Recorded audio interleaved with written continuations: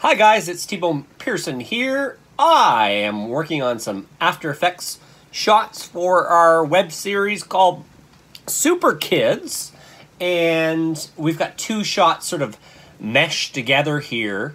Um, so I had the, the Super Kids land. Uh, which layer is that? That's them landing. Okay, so that should stop the kids from flying in and landing. That's a different shot. Oh, there's the butterfly wings. Let's get rid of those. So I'm down here in the left-hand corner. Uh, I know you guys, some of you guys like this behind-the-scenes stuff, so I thought I would show you what I'm up to today. Uh, yeah, so let's turn off the butterfly wings here. And let's get rid of what? I've got like a dust layer when the kids landed. See right there? Uh, let's get rid of that because what I've done is I've copied and pasted this goblin shot. Let's make sure this is the layer. Hit the eyeball tool. Back, boy, back. Okay, so I've soloed it, meaning I'm only certain layers are being shown. See that little circle there? Let's go to Effect Controls and turn this off so you can see what the original footage looks like. This is what I'm dealing with. So if you look at the goblin, he's green. And the green screen back here is green. So if I were to delete the green, he would disappear to some degree. Uh, so what we did was uh, we stitched together a blue, went to the fabric store and picked up some blue uh, material and stitched it together. Probably in the future I'll buy one of these stretchy green screens that is blue, just to make things easier. Uh, so we had Julie puppeteering, and she's got blue. But one of, oh, I hear a kid crying in the background.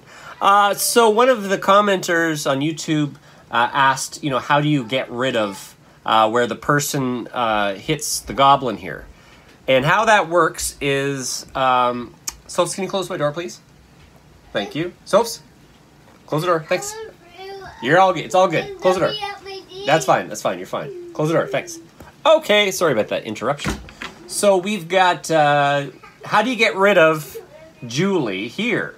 Obviously, when you turn on the Keylight, which uh, deletes the blue, like so, I just eyedrop tooled the blue, played around with the settings in here, um, and got rid of the blue.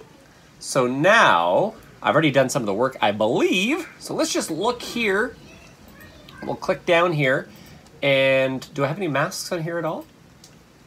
I haven't done any masks. Okay, so I guess I just started the shot. That's right, man.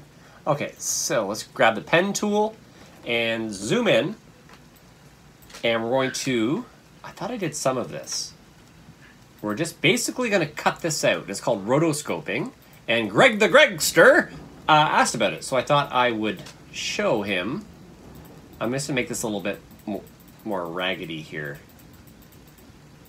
like that and just go around like this and now she'll be left so we have to invert the mask and then we have to record the mask all of our moves. So I'm gonna hit this little record button and then turn it to none just so I can see everything.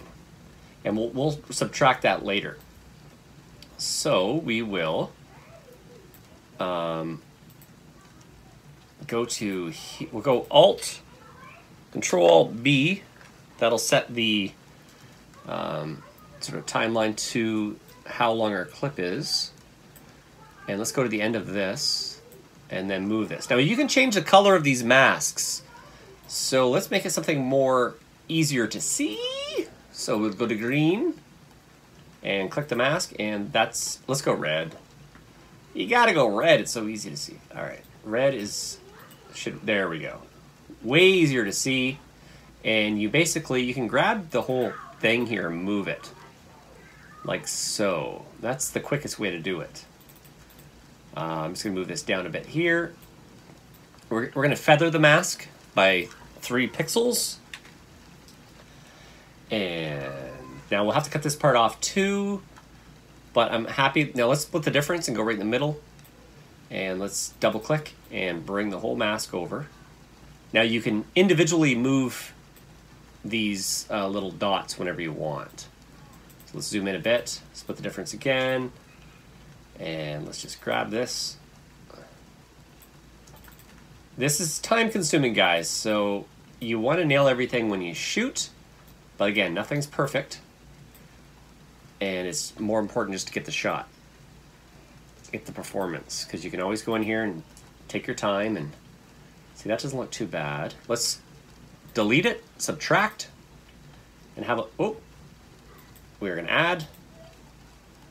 There we go. So let's have a look. And let's set this, instead of full, let's make it easier on the computer, we'll go to half. And then let's just check it out. So now it's going to preview. And we should probably save just in case it crashes. Otherwise you're going to lose your work.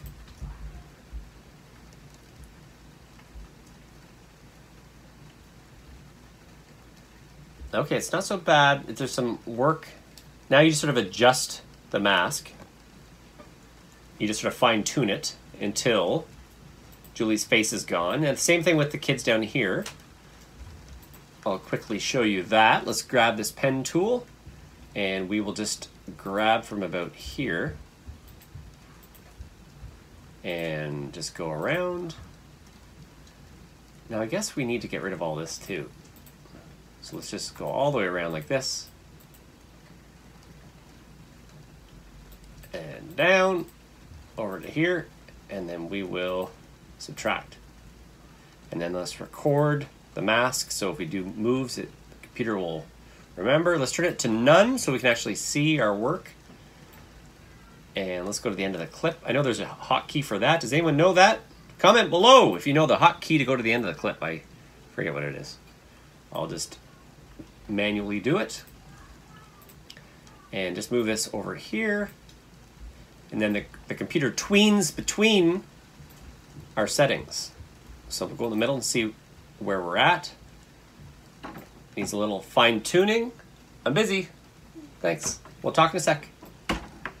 All right, sorry about that. There's some children fighting out there and they want to discuss their side of the story, but I need to do some work.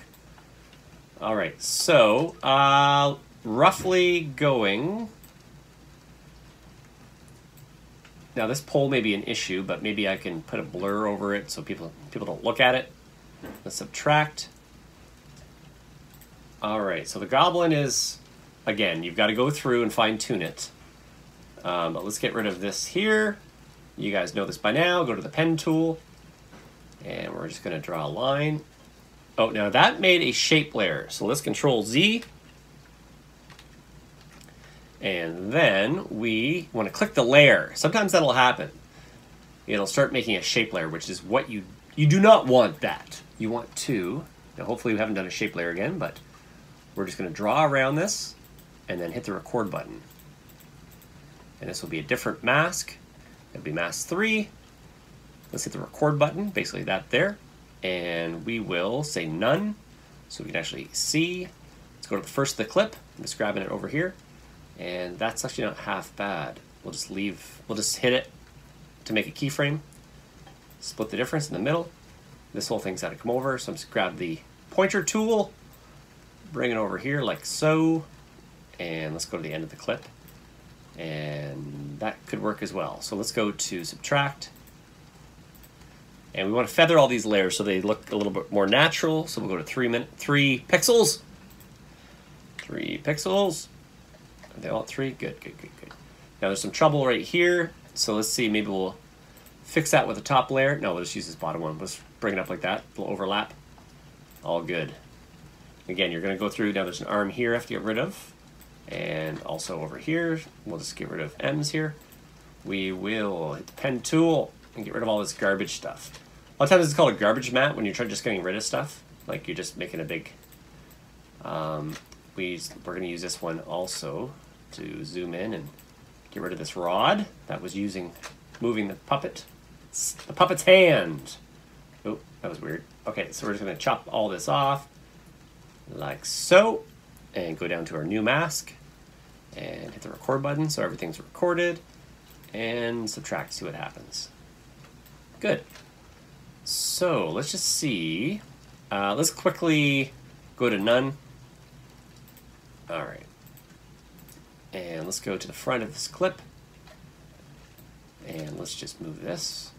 So it's going to record the move, and then it's slowly going to move it to your second point. But let's split the difference.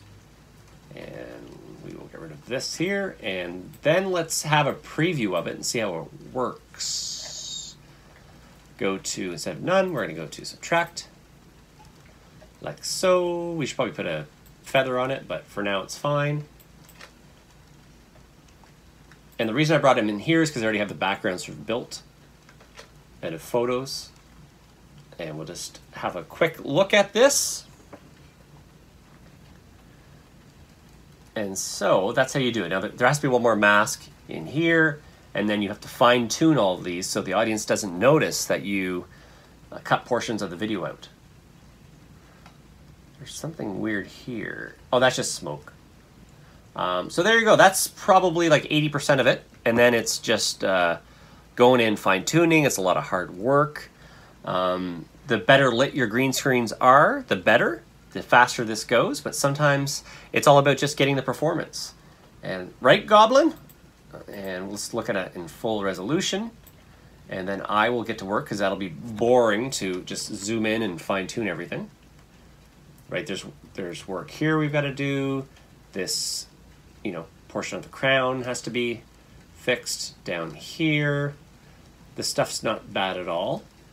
Um, and there you go. There's a sneak peek. Uh, there's a behind the scenes peek at what I'm up to right now. Please comment below. It's nice to have uh, you know people following along at home. This part can be a little lonely sitting in front of a computer in a thunderstorm. I don't know if you guys could hear that in the background, but uh, it's a little um, mind numbing at times. So I'll put on some music or a podcast.